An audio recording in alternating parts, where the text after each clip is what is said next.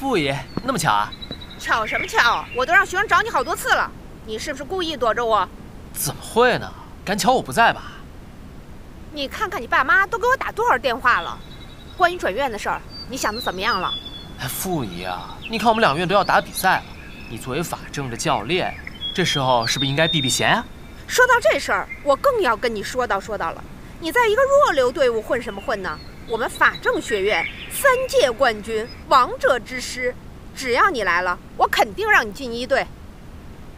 私下挖墙脚，背后捅刀子，这么多年了，你能不能有点新花样啊？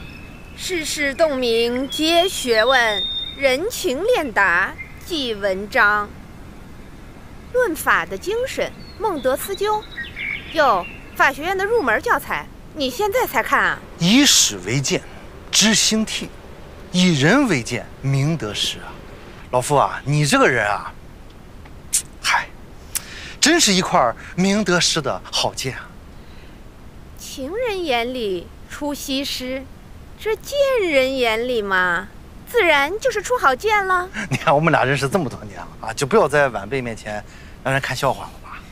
我倒是想看看你能带出什么好学生。哼。